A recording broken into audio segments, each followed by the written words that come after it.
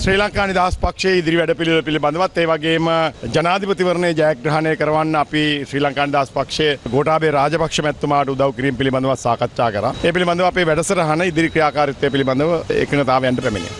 දැන් දෙදස් පහළවේදී මෛත්‍රීපාල සිරිසේන මහත්මයා මහින්ද රාජපක්ෂ මහත්මයාවයි ගෝඨාභය රාජපක්ෂ මහත්මයාවයි දැඩි ලෙස විවේචනය කරලා ආවේ මේ තනතුර. ඒතකොට දැන් අද වෙද්දී ඇයි ඒ අදහස වෙනස් වෙලා එතුමා කවට සහයක දෙන්නේ නැහැ. ජනාධිපතිතුමා බොහොම පැහැදිලිව 2015 ජනවාරි 8 එතුමා මේ බලවේගයන්ට විරුද්ධව වැඩ කරේ. නැවත එතුමාට ඇවිල්ලා ඒක දිනවන්න කියලා කතා කරන්න මම හිතන්නේ සදාචාරාත්මක එතුමාට හැකියාවක් තියෙනවා කියලා. ඒ නිසා තමයි එතුමා මේ ක්‍රියාදාමය අරගෙන පක්ෂ විදිහට ගත තීන්දුව ක්‍රියාත්මක කරන්න දීලා එතුමා ඊටාම මධ්‍යස්ථව මේ රටේ ජනාධිපතිවරයා විදිහට ප්‍රජාතන්ත්‍රවාදී නායකයෙක් විදිහට වෙන කවුරුත් ඔය වගේ වැඩක් කරන්නේ නැහැ. තමන්ගේ පක්ෂයේ තියෙන සභාපතිකම බාර දෙන්නෙත් නැහැ වෙනත් කෙනෙකුට වැඩ කරගෙන යන්න කියලා. ඊටාම ප්‍රජාතන්ත්‍රවාදී නායකයෙක්. ඉතින් එතුමා ඒ ක්‍රියාදාමය අරගෙන තිනවා අපි එතුමාට ස්තුතිවන්ත වෙනවා.